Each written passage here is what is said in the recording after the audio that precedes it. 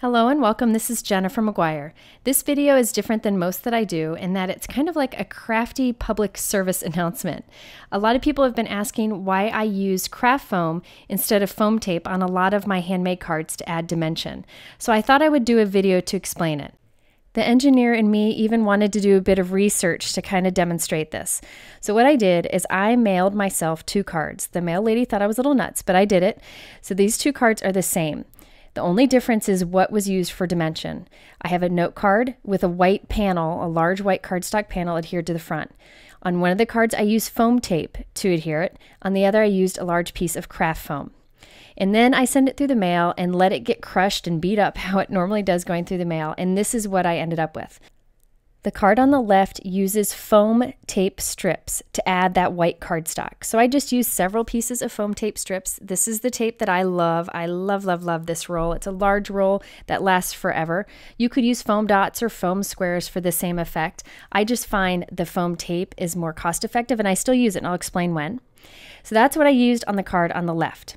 The card on the right, same paper, same note card, but I used a piece of craft foam that is cut slightly smaller than the white panel and glued behind there. So this is fun foam, craft foam. Uh, I think it has two millimeter thickness to it, very inexpensive.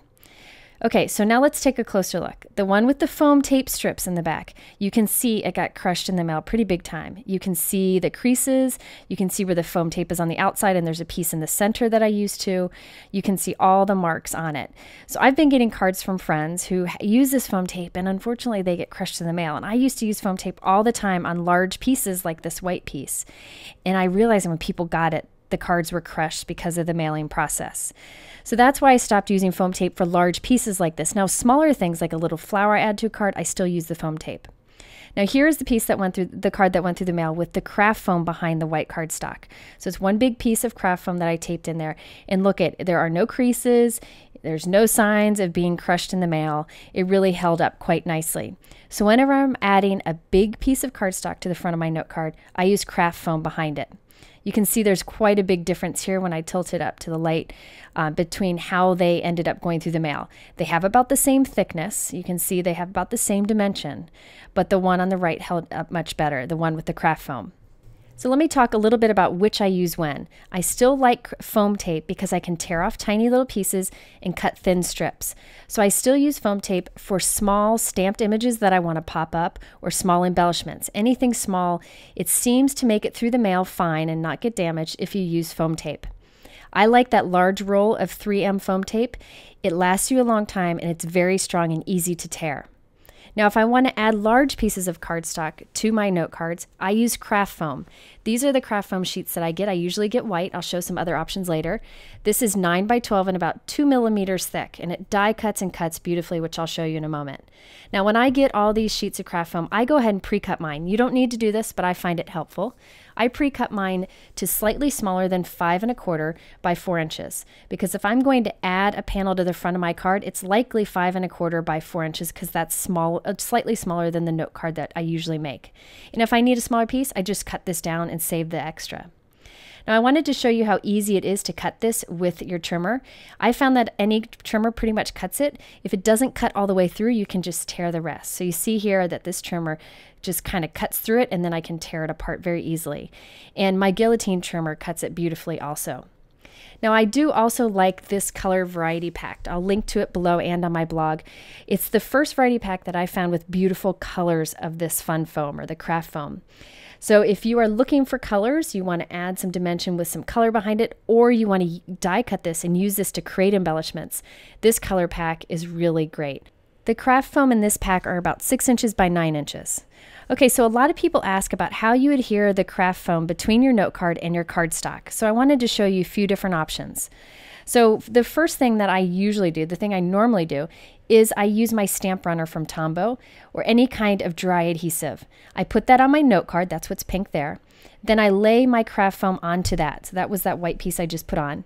Then on the back of the cardstock I want to put on the front, I put adhesive and then I lay that on the craft foam. I find it easier to put the adhesive on the paper than on the craft foam, and I just sandwich it between. Now I do like to, when my card is all complete, go and squirt a little bit of a super strong adhesive just in the corners. Now this is Ranger's Multi-Medium in the matte finish. And I have a special nozzle on it that makes it real easy to put into tight spaces, and I'll link to all that below. Now I put something heavy over this and let it dry and that will stay nice and secure. The tape that I put down originally, the adhesive I put down originally, will hold. I just do this just to be sure. Now another option that's a little bit stronger is score tape. This is something that I've started to do lately and I think I like it. So I take the thin score tape or any score tape that you may have, any strong double-sided adhesive, and I put a piece around all of the sides and then just a piece down the middle. And I'm putting this actually on the craft foam itself. Then I flip it over and do the same to the other side. Now, if you're wondering about the craft foam that you can get with adhesive on one side already, I'll talk about that at the end of this video. So now I can just remove those little strips and put the white cardstock on the front, and this will hold nicely also. So I encourage you just to try whatever adhesive you may have. Chances are it'll hold the craft foam in there just fine, and this piece, this card will go through the mail with no problem. It may seem silly to put that craft foam in there just for a little bit of dimension, but it really makes a big difference in making the front of your card kind of pop up. Okay, I wanted to also show you how this craft foam die cuts. I have found that all the different craft foams that I have personally tried have die cut beautifully. This one's about two millimeters thick. I'm running it through with just a regular wafer thin die. This one happens to be from Hero Arts. It's intricate and I love it.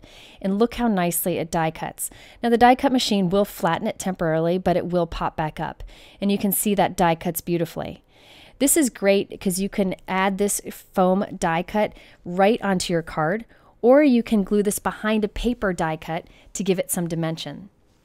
Now, if you want to have some easy adhesive on the back of your foam before you die cut it, I recommend this Stick It product. This is a double-sided adhesive that is super, super thin.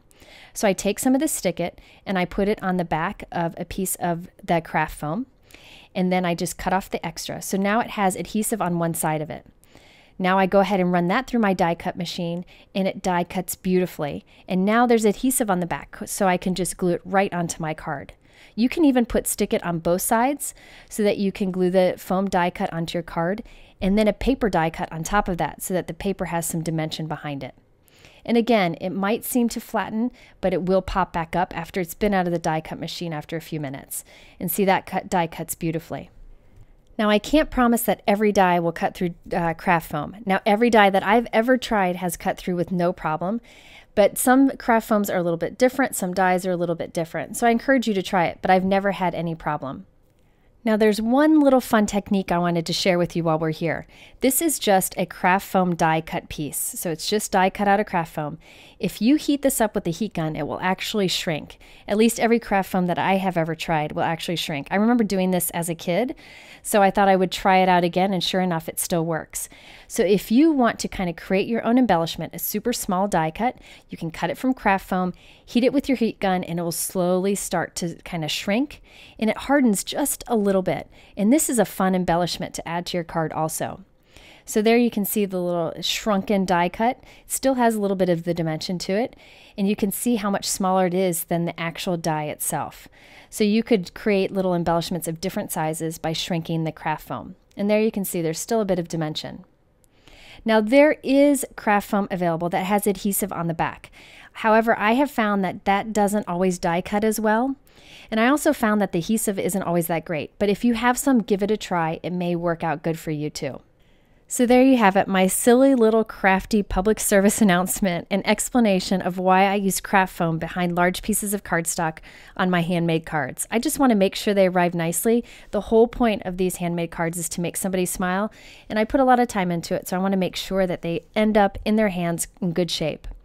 If you are interested in any of the products I talk about, they're linked below my YouTube description, or you can head over to my blog at jennifermcguireink.com. As always, I appreciate you stopping by, and I'll see you soon.